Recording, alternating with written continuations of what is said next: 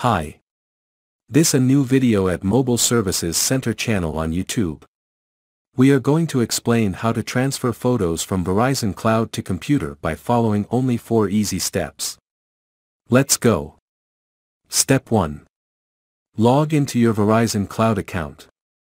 The first step in transferring your photos from Verizon Cloud to your computer is to log into your Verizon Cloud account. You can do this by visiting the Verizon Cloud website and entering your login credentials. Once you're logged in, you'll be able to access your stored files. Step 2.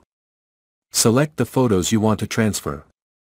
Once you're logged into your Verizon Cloud account, you'll need to select the photos you want to transfer to your computer. You can do this by navigating to the Photos section of your Verizon Cloud account and selecting the photos you want to transfer. Step 3. Download the photos to your computer. After you've selected the photos you want to transfer, you'll need to download them to your computer. To do this, click on the Download button in the toolbar at the top of the page. Step 4. Verify the downloaded photos. After you've downloaded the photos to your computer, it's important to verify that they downloaded correctly. Check the location where you saved the downloaded photos and make sure that all of the photos you selected have been transferred.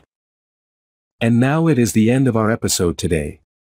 Don't forget to subscribe to our channel Mobile Service Center, and press like if you really liked the video.